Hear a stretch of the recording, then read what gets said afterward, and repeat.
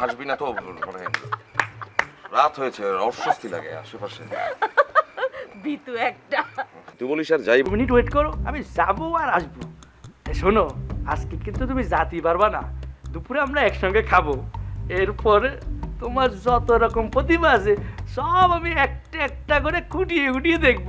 কেন দেখেছি বলুন তো আমি ঠিক পরিকল্পনা করতে পারছি না। স্যার আপনার সাথে দু ঘণ্টা আগে আমার দেখা হয়েছিল ওই যে লোকেশন দেখা দেখা He, am yaşlı kazet kırışarı. Ulete poşun nada besi.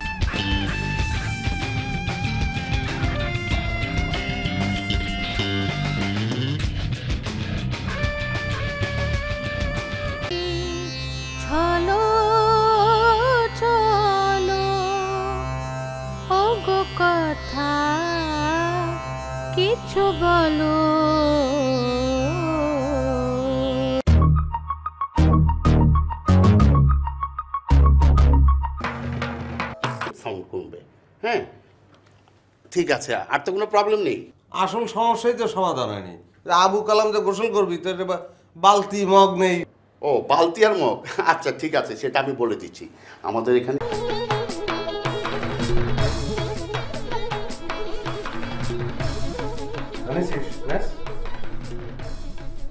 কথা কইস না কেন? আমি তোমার ছোট ভাই না? আমার প্রতি তোমার মা এক্সকিউজ মি স্যার আপনি এখানে নখ কাটছেন? দেখছেন আমাদের অনেক গেস্ট আছে।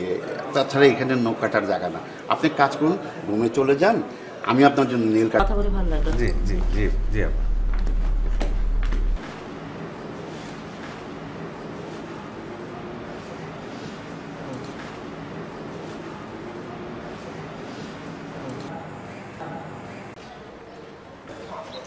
ভাই এখন বিচার বসলে কি হবি? কি আর হবি? হোটেল ছেড়ে বাড়ি চলে যাব আর কি।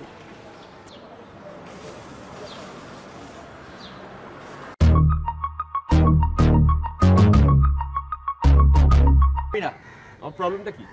তুই তো একটা মডেল দিদিকে হাঁ করে তাকিয়ে আমি কি তোর মতো ধ্বংস নাকি? হ্যাঁ ধর ধ্বংস।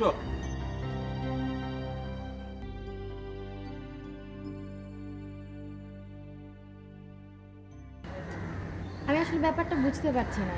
তুই এটা নিয়ে এত টেনশন করছিস কেন? না আমি একাই যাব।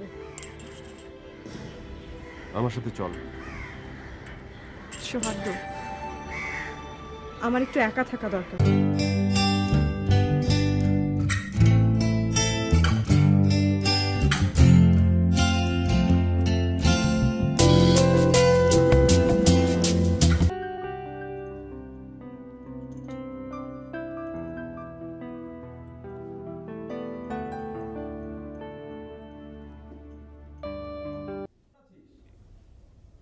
ভালো।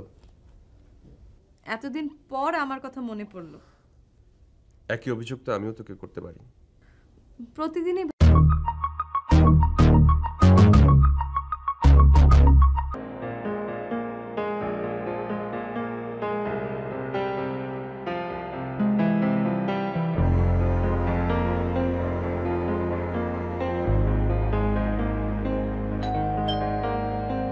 বলো না কি হয়েছে?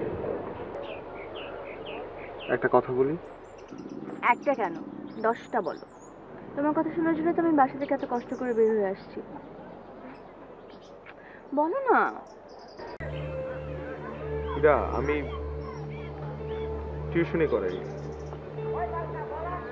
বেকার কোনো চাকরি নাই। এভাবেই চলি বাড়িতে টাকা পাঠাই।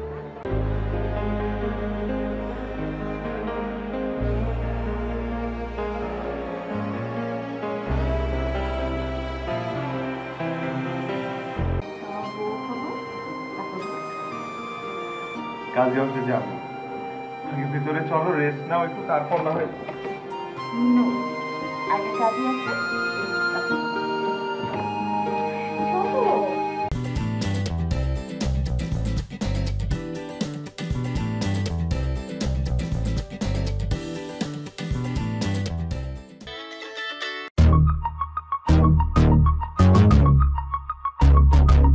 নতুন হয়েছে না? ও ছাড়া কেউ শোনা বলেন না জায়গা। এই এই। কই যাবেন হ্যাঁ?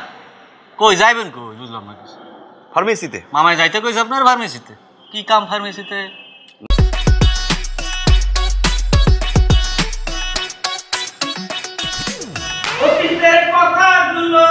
পুরনো স্মৃতিগুলো মনে মনে রাখো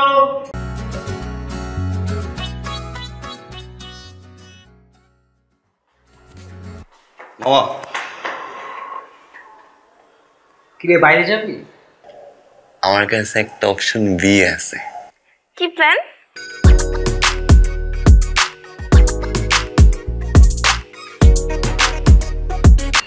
রিয়েলি ওয়াও তোমার তো সব কিছুতে ওয়াও ওয়াও লাগে কেন? যেইটাই কয় সেইটাতেই তোর ওয়াও আর এই যে ঢঙ্গের ডিব্বা তোমার কি মনে হয়? এখন পুরো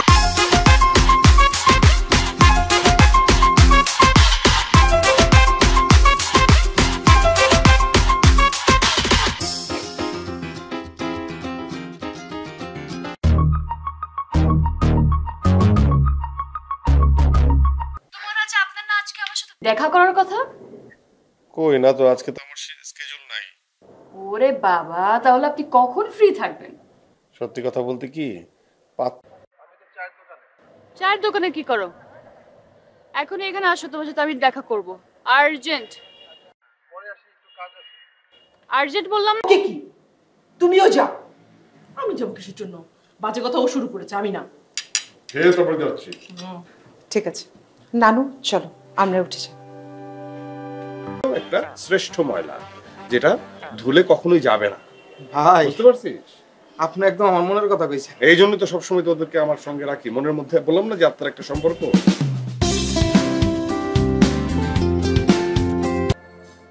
আমি আর পারছি না নিতে পারছি না। অসম্ভব সাংঘাতিক একটা মেয়ে।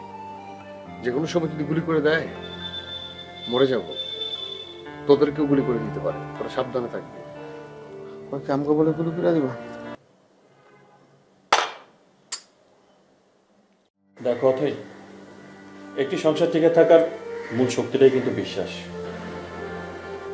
বিশ্বাসটা খুঁটির মতো। খুঁটি যেমন